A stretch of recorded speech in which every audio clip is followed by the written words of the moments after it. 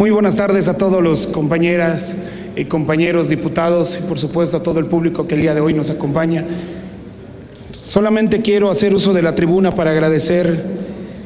el apoyo que todos los diputados puedan darle a esta gran iniciativa que sin duda alguna busca el equilibrio económico y sobre todo los beneficios para los quintanarruenses, en especial para los isleños los isleños de Cozumel, los isleños de Isla Mujeres y los isleños de Holbox,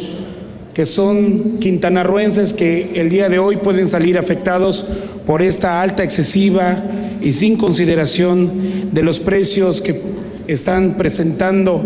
las empresas navieras de Quintana Roo. Quiero agradecer primeramente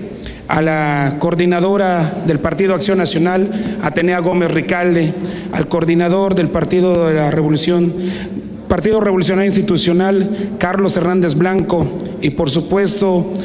de mis compañeros José Luis Guillén del Partido Más y José Luis Toledo Medina del Movimiento Ciudadano. Ellos cuatro, junto con su servidor, los tres eh, diputados isleños, el día de hoy estamos suscribiendo esta iniciativa